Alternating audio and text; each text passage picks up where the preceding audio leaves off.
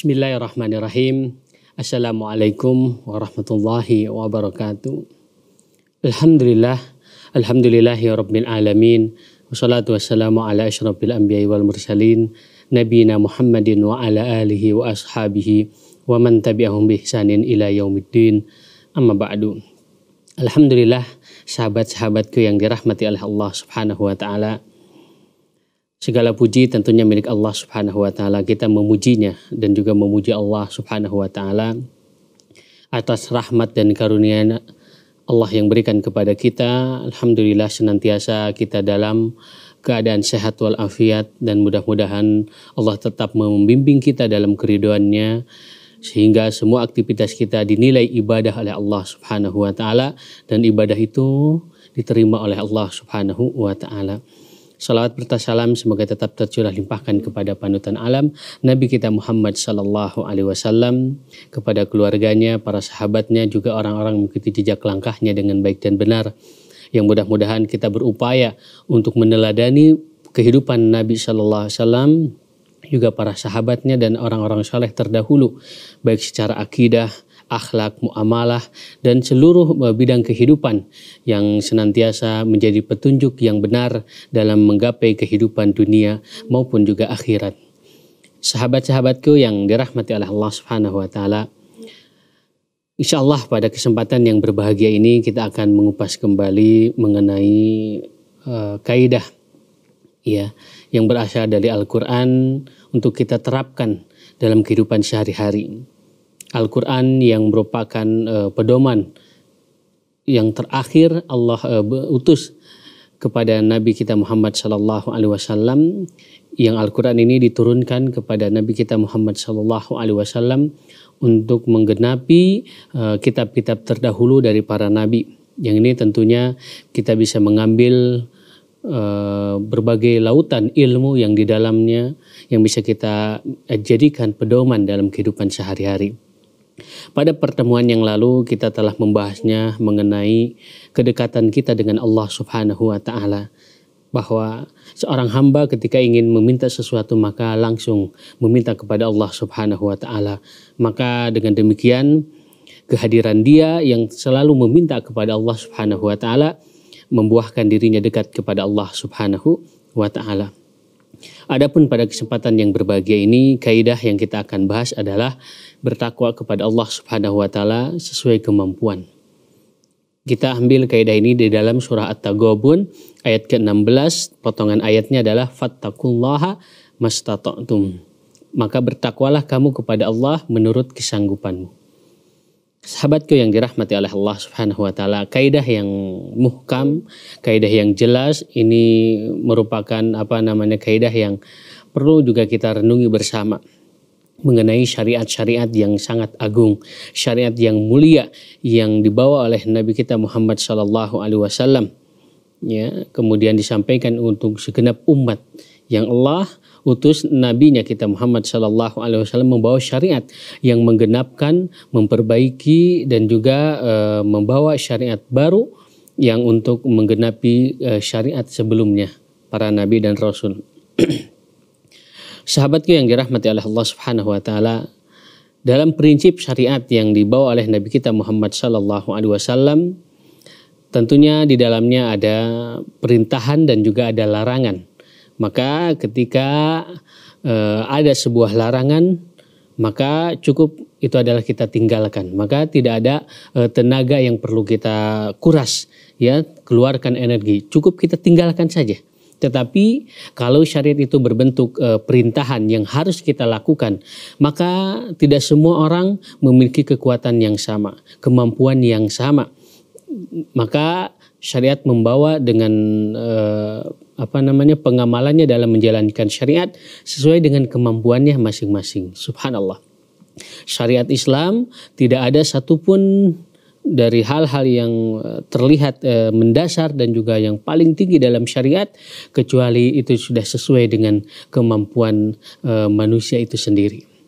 Kaidah yang kita bahas pada kesempatan yang berbahagia ini menggunakan dengan apa namanya dimulai kaidahnya dengan fa ya fattakullah yang sebagian ulama menyebut adalah sebagai fa fasilah uh, yaitu uh, bermakna untuk memisahkan sebuah uh, ayat dengan sebelumnya antara satu dengan yang lainnya sehingga tertata rapi dan uh, apa namanya teratur atau patapri yaitu kalimat yang sesudahnya merupakan cabang dari sebelumnya. Kalau kita lihat eh, sahabatku yang dirahmati oleh Allah Subhanahu wa taala, kaidah ini supaya kita eh, lebih eh, menarik dan juga lebih memahami secara eh, apa namanya menyeluruh makna fattaqullaha mastata'tum maka bertakwalah kamu kepada Allah sesuai kemampuanmu. Pada ayat ke-15-nya dalam surah Taghabun Allah berfirman, perhatikan, ya ayyuhalladzina amanu inna min ajwajikum wa auladikum aduwallakum fahdaruhum wa in ta'fu wa tasfahu wa tagfiru fa innallaha ghafurur rahim innama amwalukum wa auladukum fitnah wallahu indahu ajrun azim Hai orang-orang yang beriman, sesungguhnya di antara istri-istrimu dan anak-anakmu ada yang menjadi musuh bagimu. Maka berhati-hatilah kamu terhadap mereka dan jika kamu memaafkan tidak memarahi serta mengampuni mereka, maka sesungguhnya Allah Subhanahu wa taala Maha Pengampun lagi Maha Penyayang. Sesungguhnya hartamu dan anak-anakmu hanyalah cobaan bagimu dan di sisi Allah lah pahala yang besar. Setelah ayat ini ke-14 dan ke-15, kemudian datang ayat setelahnya apa?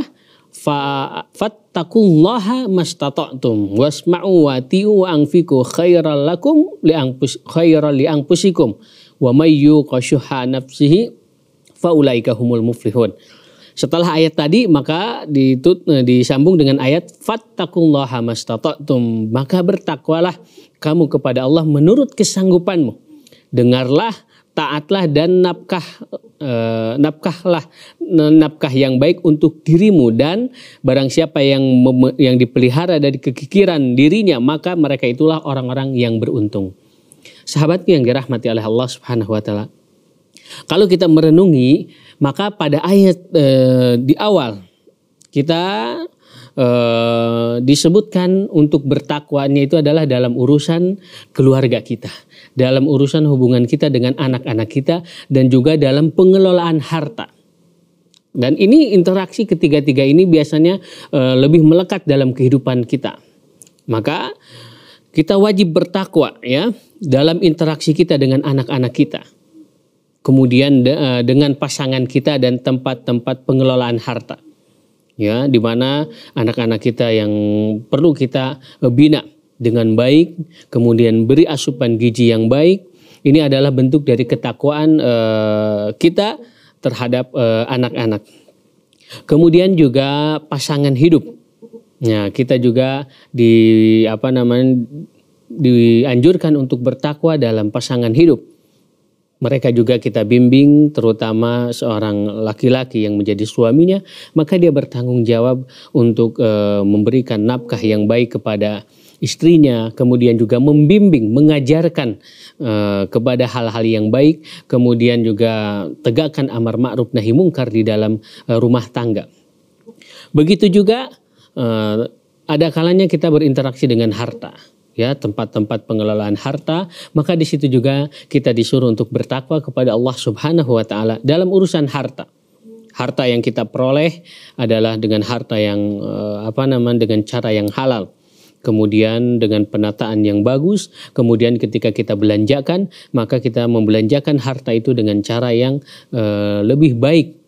Karena uh, semuanya itu akan ditanya oleh Allah Subhanahu wa taala terutama perihal harta yang Allah tanya adalah dari awal awal dan akhir. Artinya bagaimana proses mendapatkannya dan juga bagaimana proses penafkahan atau pengelolaan harta tersebut. Subhanallah.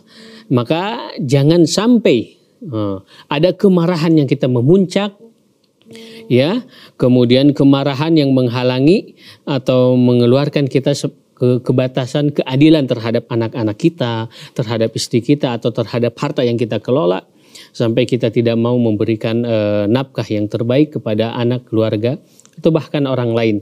Sehingga e, harta yang kita miliki juga e, menjadi e, harta yang berkah. Oleh karena itu perhatikan cakupan dan motivasi ini. Ya subhanallah. Sahabatku yang dirahmati oleh Allah subhanahu wa taala Maka apabila kita e, mampu untuk menjadi orang-orang yang baik e, dan bertakwa dalam hal e, apa namanya mengurusi anak-anak, kemudian juga bergaul dengan pasangan kita, kemudian juga dalam pengelolaan harta, maka ini adalah titik e, interaksi yang setiap hari kita akan e, terus bergelut di dalamnya. Sehingga ketakwaan ini tentunya uh, kita memiliki amarah, memiliki nafsu dan lain sebagainya, maka kemampuan seseorang dalam berinteraksi terhadap anak-anak, istri dan juga pengelolaan harta, maka itu dianjurkan juga dalam rangka dengan apa? kemampuan seseorang. Makanya Allah uh, menyebutkan setelah ayat tadi fattaqullaha mastata'tum maka bertakwalah kalian sesuai dengan uh, kemampuan kalian dalam mengurusi anak-anak juga sesuai kemampuan kita. Ada kalanya kita memberikan pendidikan kepada anaknya, kemudian dengan uh, level jenjang pendidikan yang tinggi atau menengah sesuai dengan kemampuan. Ya, begitu juga memberi nafkah kepada uh, istri, kemudian juga uh, punya harta dan mengelolanya juga itu dikembalikan kepada kemampuan. Tidak semuanya sama. Ya, tidak semuanya sama. Sahabatku yang dirahmati oleh Allah Subhanahu wa taala, maka kalau kita mengetahui uh, fattakullaha mastata'tum, maka bertakwalah kepada Allah sesuai dengan ke ke kemampuanmu. Kemudian ayat ini juga fattakullaha mastata'tum. Ada mim ya di situ adalah masdariyah dzarfiyah, artinya mengenai waktu. Sehingga maknanya adalah kita bertakwa kapan pun jadi seti, tidak ada batas waktu ya bersifat umum. Jadi di, di kapan pun kita e, dalam berinteraksi dengan anak-anak kita, kemudian dengan pasangan kita atau dengan pengelolaan harta kita, maka hendaklah kita menjadikan e, kesanggupan itu e, apa namanya lintas waktu. Kapan pun selama kita mampu maka kita lakukan hal itu demi kebaikan. Oleh karena itu sahabat yang dirahmati oleh Allah Subhanahu wa taala kaidah yang sangat luar biasa sehingga bisa kita uh, renungi bersama bahwa dalam interaksi syariat ya kita mengamalkan uh, kehidupan dalam syariat ini secara umumnya diberikan kepada kesanggupan eh, masing-masing. Fattakullaha mastata'tum. Oleh karena itu sahabatku yang dirahmati oleh Allah Subhanahu wa taala, lalu barangkali yang perlu kita renungi kembali kemampuan untuk bertakwa kepada Allah Subhanahu wa taala. Ketakwaan yang sesuai dengan kemampuan kita. Apa itu takwa? Kita pasti sudah mengetahui ya berapa banyak uh, dan bahkan menjadi uh, apa namanya sebuah keharusan seorang khatib yang berkhutbah harus mewasiatkan ketakwaan ya kepada uh, dirinya dan jamaahnya ya gitu. Setiap kita uh, mengikuti kajian ceramahan biasanya ada wasiat dari eh, seorang uh, penceramah untuk bertakwa kepada dirinya dan juga kepada para pendengar. Ini menunjukkan wasiat yang memang disyariatkan dalam uh, syariat Islam dan Allah Subhanahu wa taala menegaskan Ya ayyuhalladzina amanu taqullaha haqqa tuqatih wa la tamutunna illa wa antum muslimun. Hai orang-orang yang beriman bertakwalah kepada Allah dengan sebaik-baiknya takwa dan janganlah kalian meninggal kecuali dalam keadaan muslim. Sahabatku yang dirahmati oleh Allah Subhanahu wa taala, maka ketakwaan merupakan uh, pilar yang dikerjakan seseorang menjalani syariat kemudian menjauhi uh, larangan dalam syariat tersebut. Maka tafsir para uh, ulama ini sangat uh, bagus dengan perkataan kita bertakwa kepada Allah dengan sebenar-benarnya takwa adalah dia harus ditaati dan tidak boleh dimaksiati. Dia harus uh, apa diingat, uh, tidak boleh dilupakan dan juga dia harus disyukuri dan tidak dikufuri. Subhanallah. Ini apa namanya penjelasan yang luar biasa. Kalimat singkat mendalam bahwa Allah Subhanahu wa taala itu harus ditaati dan tidak boleh dikufuri. Kemudian Allah Subhanahu wa taala harus selalu diingat, jangan dilupakan dan juga Allah Subhanahu wa taala itu perlu kita syukuri dan jangan kita uh, apa namanya kufuri. Dengan penyatuan penjelasan ini, maka prinsip pokok tentang fattakullaha mastata'tum adalah kita bertakwa kepada Allah sesuai dengan kemampuan kita masing-masing. Sahabatku yang dirahmati oleh Allah Subhanahu wa taala, dengan demikian Kaidah Al-Quran ini menjadi jelas bagi kita bahwa di mana kewajiban syariat ya berupa perintahan itu dibebankan kepada seorang uh, yang sudah mukallaf, yang sudah dibebani syariat dengan melihat kepada kemampuan uh, di dalam dirinya masing-masing ya. Oleh karenanya ini ayat yang sangat luar biasa semampu kita melakukan itulah yang eh, kita dianjurkan untuk menjalankannya. Sahabat-sahabatku yang dirahmati oleh Allah Subhanahu Wa Taala jangan ke mana-mana setelah yang satu ini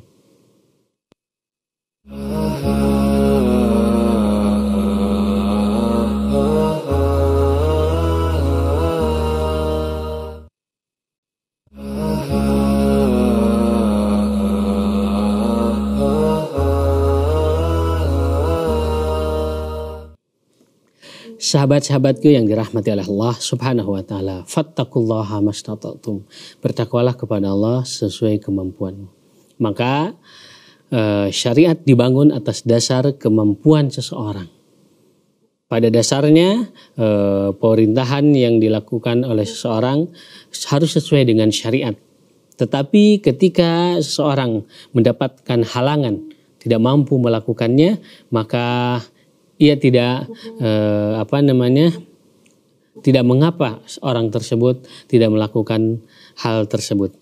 Sebagaimana hadis Nabi Shallallahu Alaihi Wasallam eh, menegaskan ya dalam kaidah ini ida amartukum bi amrin faktu minhu mastata'tum. Ya, apabila aku memerintahkan kalian dengan suatu perintah, maka laksanakan perintah itu menurut kesanggupanmu. Subhanallah, ya ada barangkali uh, orang yang uh, apa namanya beribadah kepada Allah Subhanahu wa taala dengan jalur uh, bersedekah. Karena memang orang tersebut dia memiliki harta yang banyak maka dia bisa memberi bantuan kepada lembaga pendidikan ini kemudian men, apa namanya bersedekah untuk membangun uh, lembaga pendidikan kemudian bersedekah untuk fakir miskin kemudian membuat apa namanya uh, bersedekah uh, dengan jalur itu. Karena memang kemampuan di situ. Dan dia tidak bisa uh, apa namanya memiliki uh, orasi dalam berbicara untuk uh, mengajarkan agama.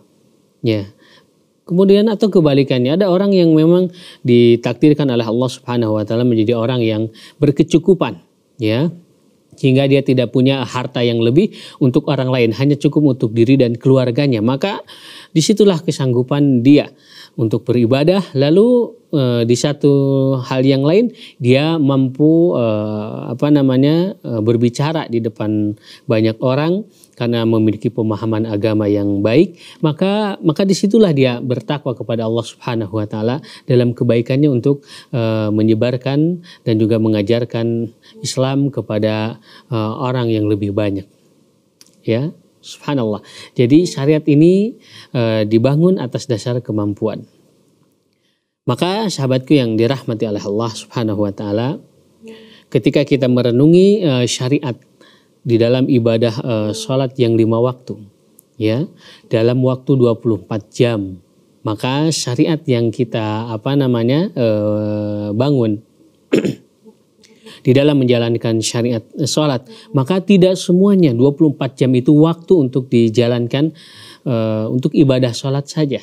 Nah, tetapi dalam yang kewajibannya itu hanya uh, barangkali lima menit ya kita lakukan untuk ibadah sholat. Maka 5, 5 menit kali 5 waktu sholat maka hanya e, 25 menit. Tidak sampai satu jam. Nah, ini untuk ibadah sholat yang wajib. Lihat, dari 24 jam waktu yang Allah berikan kepada manusia. Maka ini artinya apa? Bahwa ibadah sholat itu adalah memang e, akan mampu dilakukan oleh e, manusia. Ya. Kemudian juga ibadah puasa. Allah Subhanahu wa taala perintahkan ibadah ini ya dalam satu tahun hanya satu bulan ya.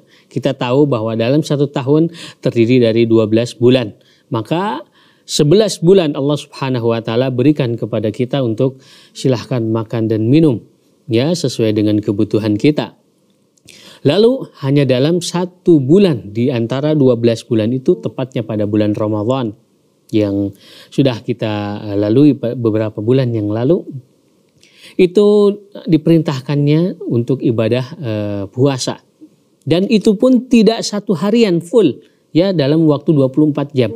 Hanya dari uh, menjelang subuh kita menahan uh, diri terhadap hal-hal yang membatalkan puasa sampai terbenam uh, matahari. Subhanallah. Kemudian dalam hal-hal yang lain juga syariat subhanallah tidak dibebankan kecuali sesuai kemampuan. Ketika Allah Subhanahu wa taala mengharamkan uh, minuman, maka berapa banyak minuman yang bisa kita minum lebih daripada uh, apa namanya? aneka ragam macaman uh, yang diharamkan. Yang Allah haramkan hanya minuman yang memabukkan dan juga yang mematikan yang mengandung racun. Selebihnya silahkan kita bisa sepuasnya meminum minuman yang kita inginkan di dunia ini. Begitu juga makanan. Allah Subhanahu wa taala hanya mencipati beberapa makanan-makanan yang diharamkan oleh Allah Subhanahu wa taala melalui syariatnya. Dan lebih dari itu, bilangan yang tidak akan terbilang makanan yang banyak Allah Subhanahu wa taala berikan kepada manusia di uh, muka bumi ini. Ini menunjukkan apa? Bahwa uh, syariat yang Allah Subhanahu wa taala uh, berikan kepada uh, manusia itu sesuai dengan kemampuan mereka. Ya, dengan kemampuan mereka. Sahabatku yang dirahmati oleh Allah Subhanahu wa taala, dan akan kita ambil ya mungkin kita akan mengambil sebagian contoh nih supaya memperjelas kaidah ini bagaimana rangkaian uh, kaidah uh, bertakwa kepada Allah menjalankan syariat dengan sesuai kemampuannya. Yang pertama, contoh yang paling bagus itu ya seperti kaidah yang barusan kita uh, apa namanya hadis Nabi Shallallahu Alaihi Wasallam, "Ida amartukum bi amrin fa'tu minhu mastata'tum." Apabila uh, aku memerintahkan kepada kalian dengan sesuatu perintah maka laksanakan perintah itu sesuai dengan kesanggupan kalian. Ini hadis Nabi Shallallahu Alaihi Wasallam. Sehingga uh, lengkapnya uh, Nabi Shallallahu Alaihi Wasallam bersabda uh, Rasulullah Shallallahu Alaihi Wasallam pernah berkhutbah di hadapan kami ya kata Abu Hurairah radhiyallahu taala anhu yang diwatkan oleh Imam Muslim hadis sahih Abu Hurairah mengatakan Rasulullah Wasallam pernah berkhutbah di hadapan kami beliau bersabda wahai manusia sungguh Allah telah mewajibkan haji kepada kalian, maka berhajilah. Lalu seorang laki-laki berkata, apakah aku harus setiap tahun wahai Rasulullah? Maka beliau diam. Sehingga laki-laki tersebut menanyakan sebanyak tiga kali. Apakah aku harus melakukan haji setiap tahun? Apakah aku harus melakukan haji setiap tahun? Tiga kali eh, lelaki tadi bertanya kepada Rasul. Lalu Rasulullah Shallallahu Alaihi Wasallam bersabda, kalau aku menjawab iya, niscaya ia akan wajib dilakukan setiap tahun dan kalian tidak akan mampu melakukannya. Kemudian beliau bersabda, biarkanlah aku dengan apa yang aku tinggalkan bagi kalian. Karena sesungguhnya orang-orang sebelum kalian itu telah binasa disebabkan sikap mereka yang bertanya-tanya dan penentangan mereka terhadap uh, para nabi mereka.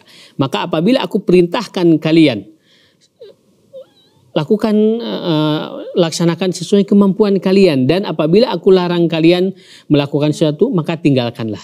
Sahabatku yang dirahmati oleh Allah Subhanahu wa taala. Lihat kita bisa lebih memahami ya dalam hadis Nabi Shallallahu alaihi wasallam ketika Nabi memerintahkan untuk uh, berangkat haji ya untuk menunaikan ibadah haji ketika sahabat tadi bertanya apakah harus satu tiap tahun kita lakukan?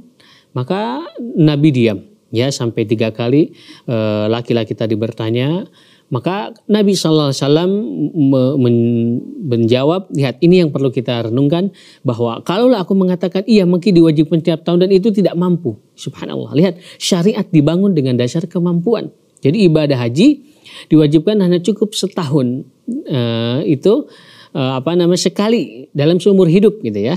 Ya, seumur hidup sekali dan itu pun sesuai dengan uh, kemampuan kita. Maka kita sebagai seorang muslim yang beriman kepada Allah Subhanahu wa taala, maka kondisi apa pun, ekonomi apa pun, kewajiban ibadah uh, haji maka itu menjadi merupakan apa kewajiban kita. Kita insya Allah uh, akan berangkat haji. Kita punya niat dan kita menerima syariat ini. Kemudian adapun pelaksanaannya maka itu dikembalikan kepada kemampuan kita ya kalau Allah Subhanahu wa taala berikan kesempatan, kemampuan kita secara fisik sehat, kemudian secara bekal harta kita mampu dan cukup untuk perjalanan dan juga orang-orang yang kita tinggalkan uh, di tanah air kita, maka dengan izin Allah kita bisa melakukan ibadah ini. Ya kan? Adapun kalau tidak mampu maka Allah Subhanahu wa taala tidak akan pernah uh, menuntut kita di luar kemampuannya. Subhanallah. Sahabat yang dirahmati oleh Allah Subhanahu wa taala ini menjadi penjelas yang luar biasa dalam syariat ya bahwa perintahan yang uh, kata Nabi Shallallahu Alaihi Wasallam lakukan sesuai dengan kemampuan ya karena memang kemampuan seorang itu berbeda-beda. Adapun dalam hal larangan maka cukup tinggalkan. Karena meninggalkan itu tidak perlu dengan e, tenaga ya. Makanya Nabi tidak menyebutkan dengan tinggalkanlah semampu kalian ya. Tidak dengan disandingkan itu. Karena namanya meninggalkan ya cukup nah, nah, kita tinggalkan saja. Hmm. Kemudian yang kedua, sahabatku yang dirahmati oleh Allah Subhanahu wa taala, supaya kita memperjelas kaidah ini. Contohnya eh, adalah eh, bahwasannya kemaslahatan dan kemudaratan itu selalu berkumpul. Nah, kalau ada uh, apabila berkumpul dalam sebuah uh, apa namanya amalan, maka kalau memungkinkan kita melakukan sesuatu itu maslahatnya kita dapat, kemudian mafsadatnya kita terhindar, maka kita lakukan itu. Ya, ya. Dengan bersamaan kita lakukan sesuai dengan kaidah fattakullah mastata'tum, bertakwalah kepada Allah sesuai dengan kemampuan kalian. Jadi kalau e, ketika melaksanakan sesuatu, di situ masalahnya kita dapat dan di satu waktu yang sama madorotnya juga bisa kita hindari, maka kita lakukan. Tetapi apabila kita melakukan e, perbuatan itu, maldorotnya lebih besar, kerusakannya lebih besar daripada maslahatnya, maka kata Allah apa? E, kita tinggalkan e, apa namanya amalan tersebut, ya. E, maka e, kita dahulukan apa namanya untuk menghindari maldorot ketimbang kita mengambil maslahat karena maldorotnya lebih besar. Maka Allah Subhanahu wa taala berfirman, "Yas'aluna ka'anil khamri wal maisir." Maka mereka bertanya tentangmu e, khamar dan judi. Maka katakanlah pada keduanya terdapat dosa besar dan ada beberapa manfaat akan tetapi dosanya dari keduanya adalah lebih besar daripada manfaatnya.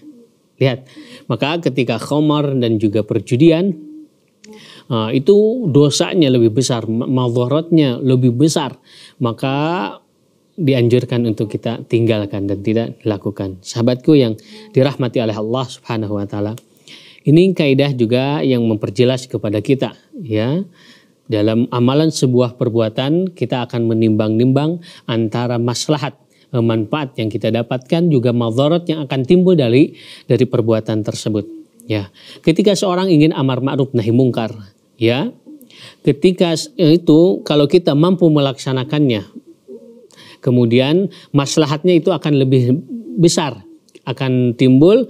Ketika kita amar ma'ruf nahi mungkar maka e, maslahatnya akan lebih besar e, kemudian madorotnya kemudian juga akan terhindar maka kita lakukan amar ma'ruf nahi mungkar dalam sebuah e, masyarakat tetapi apabila ketika kita mau menegakkan amar ma'ruf nahi mungkar kemudian e, madorot itu yang akan kita dapatkan lebih besar.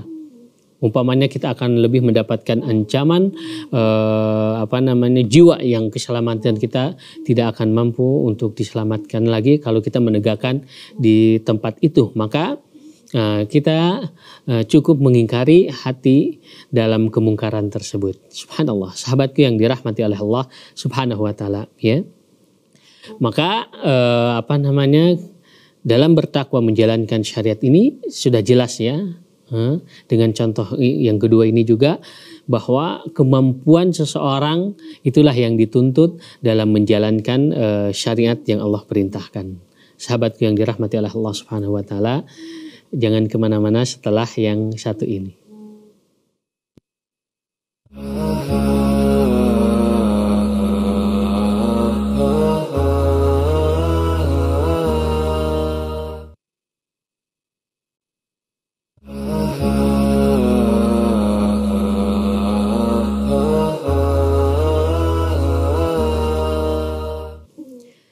Sahabatku yang dirahmati oleh Allah Subhanahu wa taala,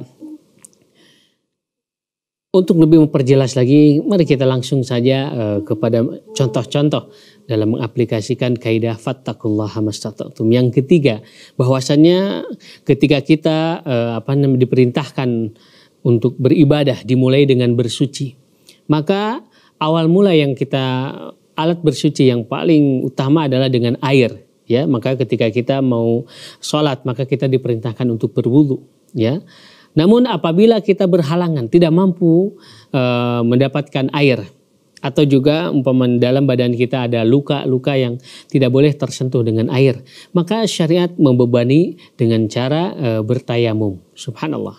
Ini adalah uh, penjelasan yang luar biasa ya mempermudah dan memahamkan dalam kaidah kita bertakwa kepada Allah sesuai dengan kemampuan kita. Jadi ketika kita tidak mampu menggunakan air disebabkan cuaca dingin atau kita dalam kondisi sakit atau bahkan kita tidak menemukan air ataupun ada air tetapi itu hanya cukup untuk uh, kebutuhan yang sangat urgen dalam kesehariannya maka kita juga di apa namanya diperintahkan uh, dari kewajiban berwudu dengan air menjadi tayamum ya sebagaimana yang kita uh, pelajari ya. Biasanya ini pelajaran yang sangat mendasar ketika kita uh, apa namanya belajar di usia uh, dini ya. Kemudian juga lihat yang keempat contoh yang bisa kita uh, jalankan dalam kaidah ini. Ketika sholat wajib ya diperintahkan asal mulanya adalah dengan berdiri.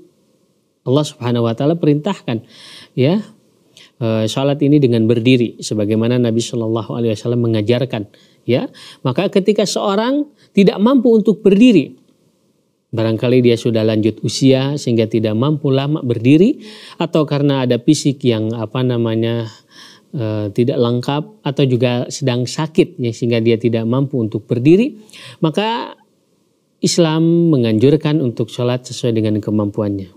Kalau tidak berdiri silahkan duduk. Kalau tidak bisa duduk maka silahkan berbaring. Subhanallah. Sahabat yang dirahmati oleh Allah Subhanahu wa taala. Ini menunjukkan syariat kewajiban sholat tetap wajib ada dan dilakukan dengan semampunya. Bahkan ketika dalam kondisi yang sangat genting yaitu dalam kondisi peperangan maka seharusnya sholat itu tegak kemudian menghadap ke kiblat. Maka di pada kondisi itu kita tidak mampu untuk uh, melakukan sesuai dengan uh, apa namanya prinsip awalnya. Maka kita lakukan sesuai dengan kemampuan di uh, tempat itu. Ini menunjukkan uh, apa namanya memahamkan lebih jelas tentang kita bertakwa kepada Allah Subhanahu wa taala dengan kemampuan kita. Kemudian kelima dalam puasa.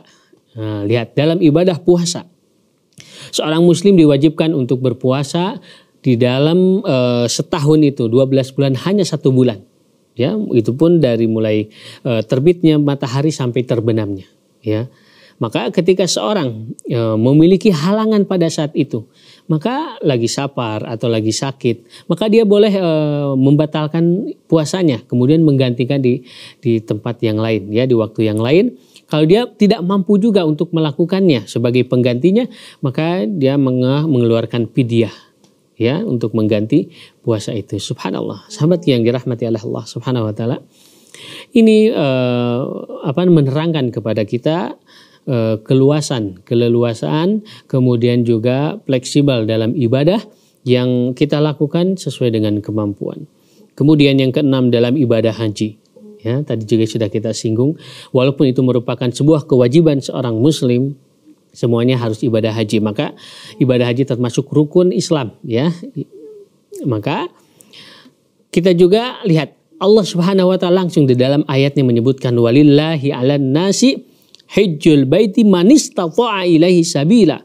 Lihat Allah Subhanahu wa taala perintahkan kerjakanlah haji adalah e, mengerjakan haji adalah kewajiban manusia terhadap Allah, yaitu bagi orang yang sanggup mengadakan perjalanan ke Baitullah.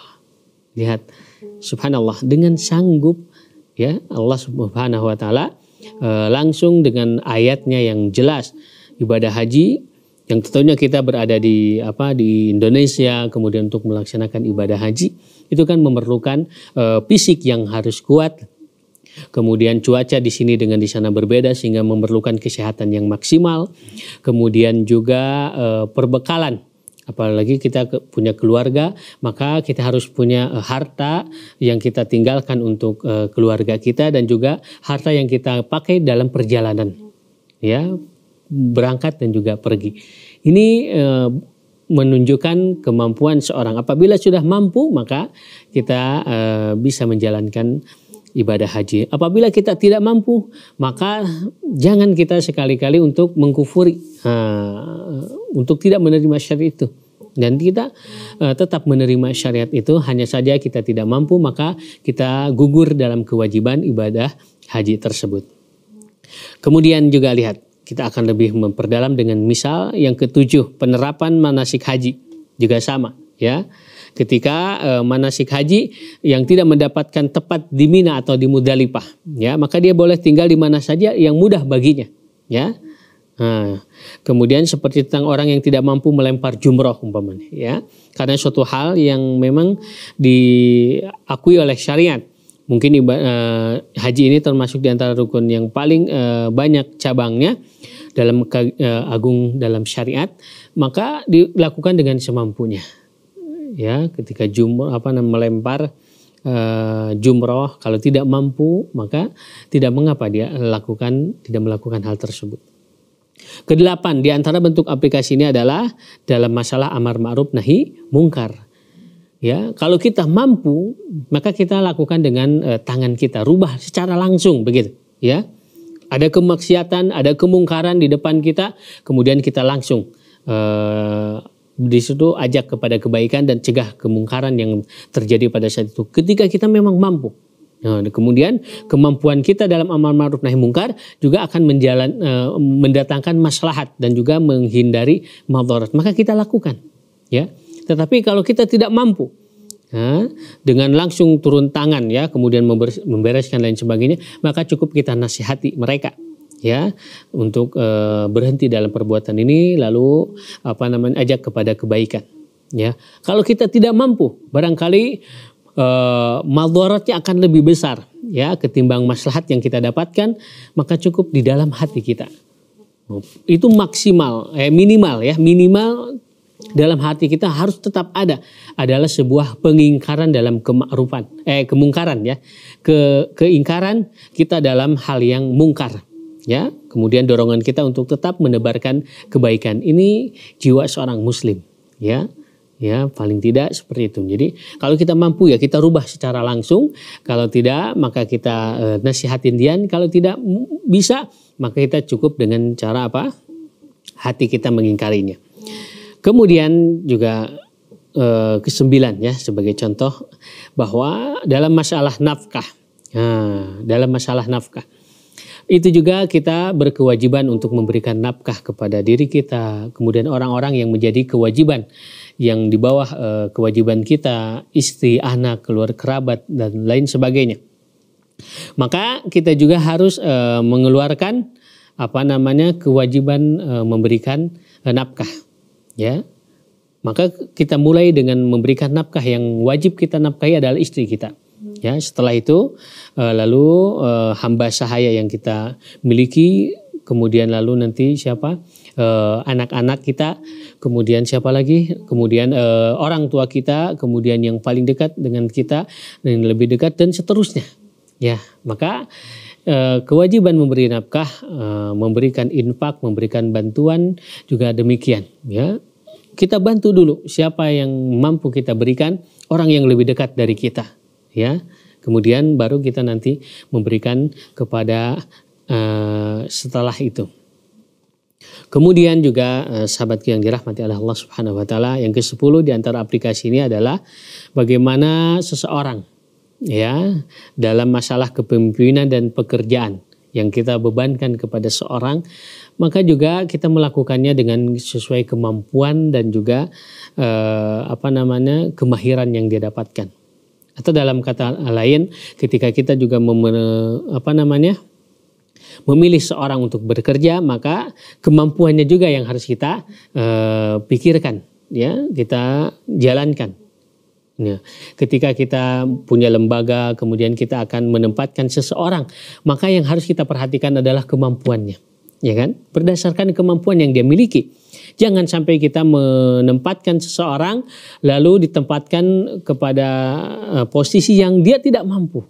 Nah, itu adalah menjadi kezaliman terhadap seseorang.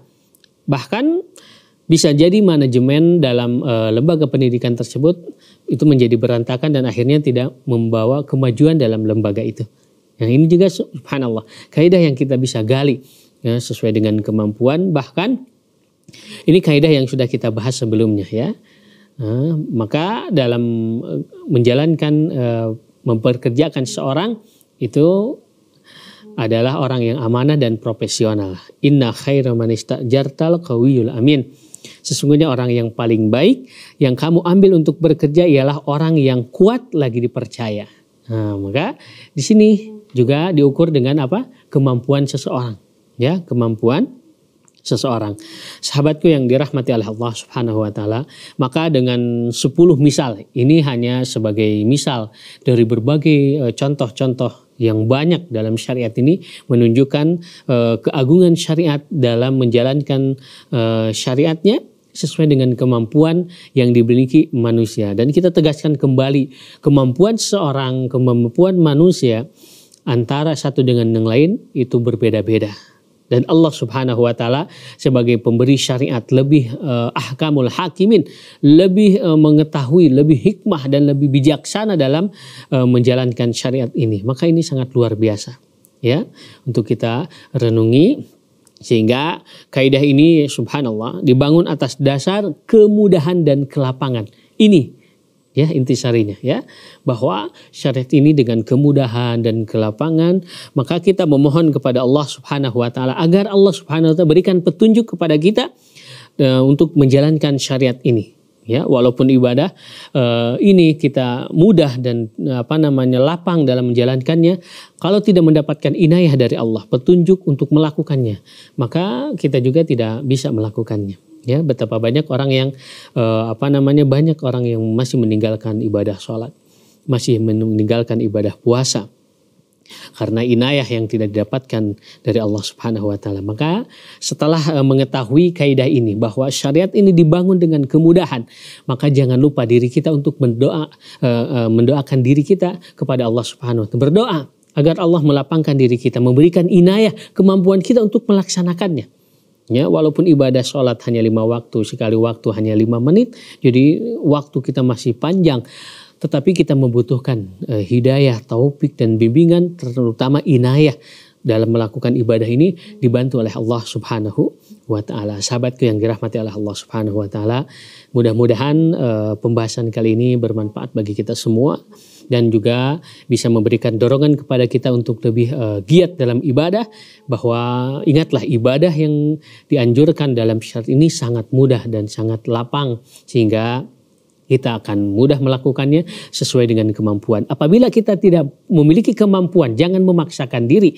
Islam tidak pernah memberikan uh, paksaan terhadap seorang di luar kesanggupannya. Sallallahu ala Nabi Muhammad. Assalamualaikum warahmatullahi wabarakatuh.